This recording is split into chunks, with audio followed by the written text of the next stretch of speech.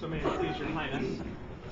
This is a poem I wrote some years ago for a Cleftland Standard Bearers tournament.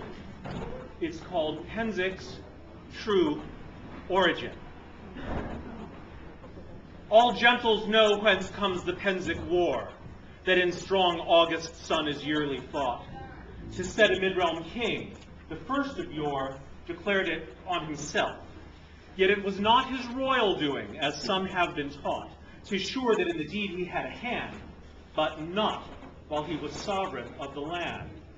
Good Cariadoc had yet twice sat the throne, and ducal leaves now rested on his brow.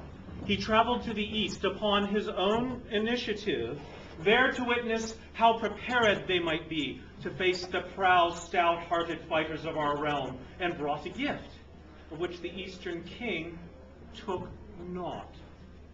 An arrow of war good Cariadoc brought to the oriental king, one Rakurai, who straightway gave it back, the more to do offense and challenge in the mid-realm's eye. Not more the duke could do, except to hie himself to home, and there to plainly tell this sovereign's pride to our king, Iriel.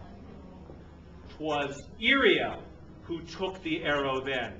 Tw- on twelfth night, in his reign, in triggered sea, King Iriel's eyes with fire glowing, when, with fighters hopeful, pressing close to see and straining to contain their swelling glee, the challenge he took up with boldest stroke, and Iriel this fated arrow broke. So neither king was Cariadoc, you see, when Pennsic War's beginning was declared. Fate gave King Iriel this duty. He, who few travails throughout his reign, was spared. An arrow breaks, and so a war's prepared. King Iriel, whose name's now barely known, so served while sitting mid-realm's dragon throne.